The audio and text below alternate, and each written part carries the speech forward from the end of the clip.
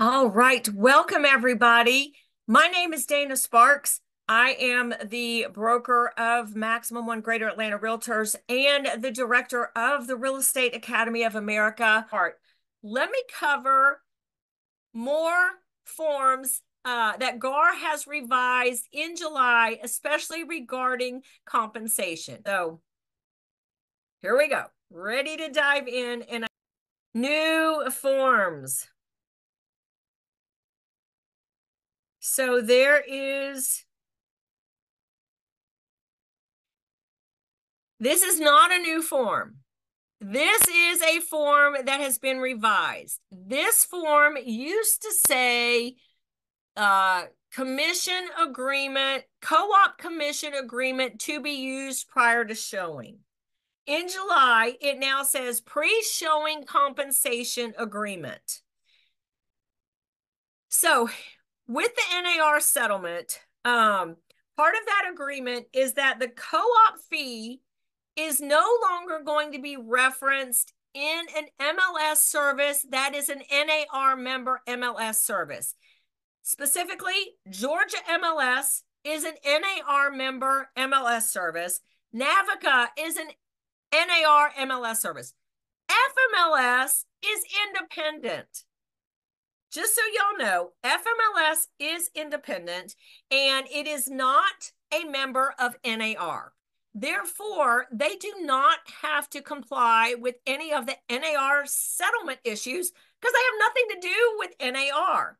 So, as of right now, um, FMLS is still showing, and, and the, uh, according to the preliminary settlement, this goes into effect August 17th, whatever that Monday is. I think it's the 17th. August. Am I in the wrong year? Anyway, um, okay. I'm sorry. August 17th, 14th. I don't know. Anyway, okay.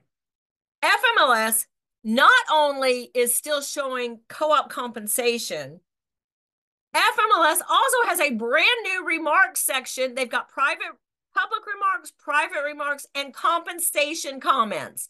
So FMLS is still showing this.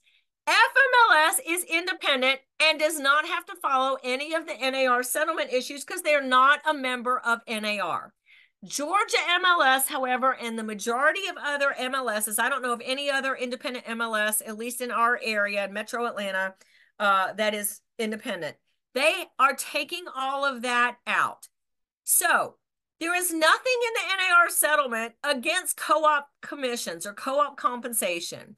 Sellers can still allow their brokers to share the compensation with a buyer's broker.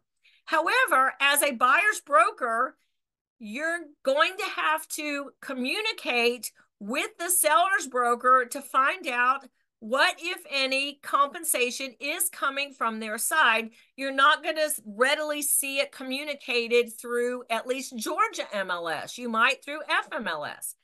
There's nothing against a co op compensation. Um, and it can be communicated anywhere else other than an NAR member MLS service and showing time because showing time is related to MLS. This new form, it's not new, it's a revised form. It used to be co-op commission agreement to be used prior to showing. The date is important. So you identify the property and it states uh, that the buy the seller and or the seller's broker, depending on who is paying the compensation to the buyer's broker, hereby confirms to buyer's broker the compensation for professional brokerage services to which the buyer's broker shall be entitled in the event the buyer with whom the buyer's broker is working with or representing and who will be identified in any offer made by such buyer through the buyer's broker contracts to purchase and closes on the property.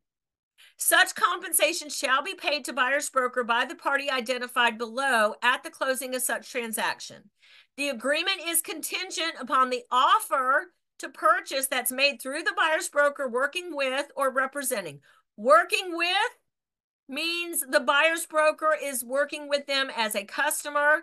Representing means the buyer's broker is working with the buyer as a client. So it doesn't matter what the relationship is, that public buyer is still working with the broker. The buyer being delivered to the seller's broker. So the offer has to be delivered to the seller's broker within so many days of that date. The offer of compensation shall expire if no offer to purchase the property is made within the time frame and this pre-showing compensation agreement is not otherwise extended by agreement of the buyer's broker and the party paying the compensation. So it is described compensation. Again, this is from the seller side.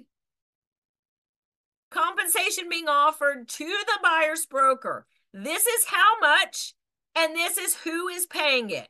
The amount expressed as a percent of the of the sale price, a flat fee or other, and it is being paid by the seller directly in addition to what the seller is paying their own broker. It is being paid by the seller's broker. They're sharing it out of the compensation, the total compensation the seller is paying them, or a combination between the seller directly and the seller's broker. And then it goes on to say there's no claim for compensation if there's no closing and buyer's broker and all other parties and broker signing have have the right to rely on this it goes on to say that this pre-showing agreement shall not modify or amend any separate agreement regarding the buyer's broker compensation so again the buyer in the buyer's brokerage agreement or the buyer customer acknowledgement the buyer agrees to pay their broker a certain amount of compensation at closing this agreement does not change that, but this agreement could potentially offset. This is money coming from the seller side, could offset the buyer's obligation depending on how you filled out those paragraphs we just talked about. Here's this paragraph G that says if the compensation being offered to the buyer's broker is more than the buyer's broker is permitted to accept, and the buyer does not consent to the additional compensation, then the offer of compensation herein shall be reduced to the amount of compensation the buyer's broker is committed, permitted to accept. Remember, that's where we I told I told you guys uh do not leave this section blank where it has ma let me go back up here.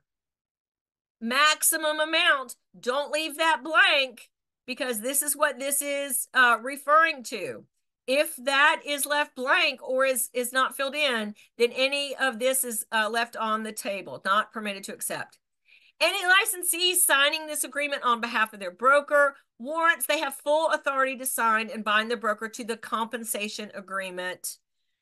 And then it is signed.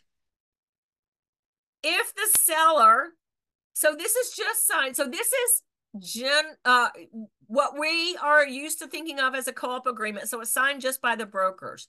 However if part of the compensation is coming directly from the seller then the seller also has to sign this it says if the seller is paying buyer's broker's compensation referenced herein the seller has to sign it Seller does not need to sign this agreement if all compensation to be paid herein is being paid by the seller's broker. Woo! All right, everybody. We made it. Those if you like that video, check out the one here.